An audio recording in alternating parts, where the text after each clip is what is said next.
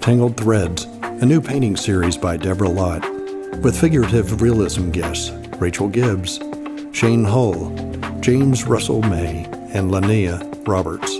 The show opens at Pyro Gallery on September 30th and runs through October 30th. There will be two Meet the Artist receptions, the first on September 30th from 6 to 9 p.m., and the second on Sunday, October 2nd from 2 to 4.